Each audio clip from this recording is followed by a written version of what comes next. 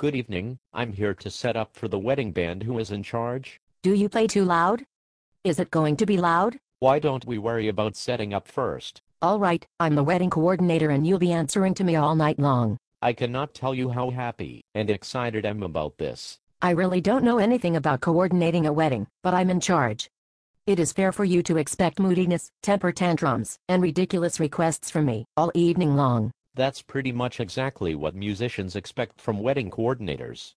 Where would you like us to set up? First of all, you will park at the loading dock, unload all your instruments, leave them at the loading dock, and then move your car. Well normally I wouldn't have to explain why there are so many things wrong with this procedure, but let me ask you, how will we be able to play the wedding if our instruments are stolen from the loading dock while we are moving our cars? I am the wedding coordinator and I am in charge. Let's not get off on the wrong foot. My thoughts exactly, where would you like us to set up? You will set up on the 4 foot by 4 foot rug that is behind the 30 foot by 30 foot dance floor. But there are six of us including instruments and a set of drums.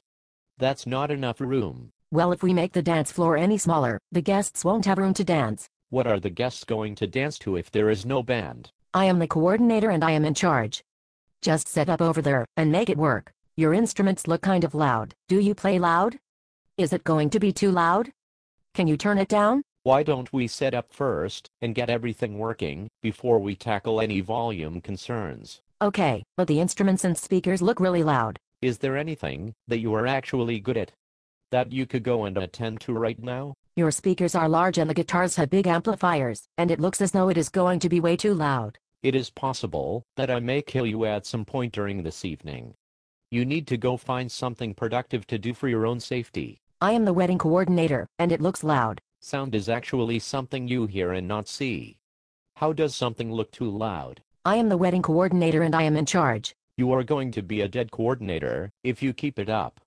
Are there any other ridiculous requests that you have from the band? Yes, do not talk to the wedding guests and you must leave the ballroom during your breaks, so that you do not disturb the guests. Okay, where would you like us to go? I don't know, but do not go near the bar or the buffet. This wedding cost over $45,000 and the musicians are not to go near the guests, food, or the bar. That sounds ridiculous, but normal. We have boxed lunches set aside for you. They were prepared earlier this year and consist of a dry sandwich, a bag of chips, and a cookie. They are stacked outside by the loading dock, which is where you can eat on your first four-minute break. That sounds ridiculous, but normal. Shall we start playing now? Yes, but before you start, please turn it down, and do not play too loud. I'm going to key your car during our first four-minute set break, if you say that one more time. I am the wedding coordinator and I am in charge. Why is our set break only four minutes long? You are being paid to play music, and not take set breaks. Yes, but we are here for five hours.